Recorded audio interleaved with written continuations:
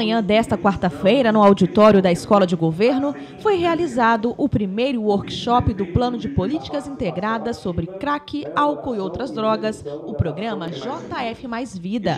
O evento teve como objetivo oferecer aos participantes uma oportunidade de discutir a relação entre usuários e a rede de serviços.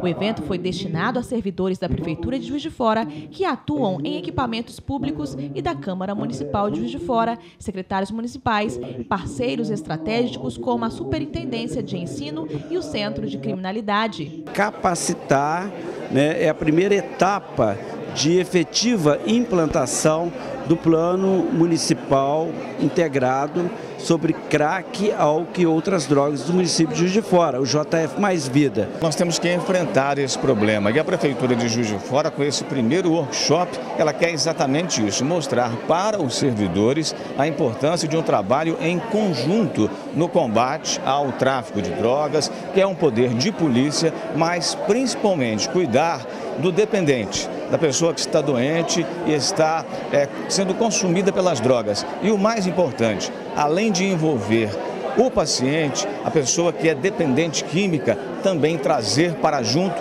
desse trabalho a família. A coordenadora do grupo técnico do JF Mais Vida, Cláudia Stumpf, explicou que este workshop abre o processo das oficinas intersetoriais que serão realizadas de forma multidisciplinar nas áreas prioritárias, dando início à modelagem da rede de atenção a usuários de drogas e familiares. Nós estamos nesse primeiro workshop de políticas integradas sobre crack, álcool e outras drogas, buscando, com o poder público, junto com, a, com, junto com as organizações não, não governamentais e organizações privadas, né, um caminho, um caminho que ele seja, que ele seja pela vida.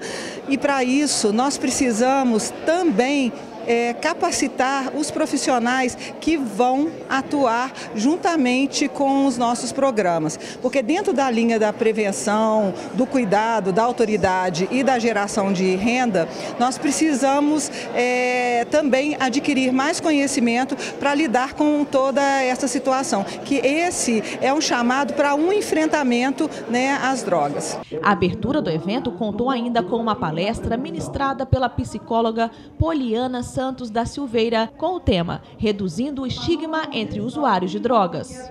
Para saber mais, acesse nossa rede social ou ligue 3690 7245.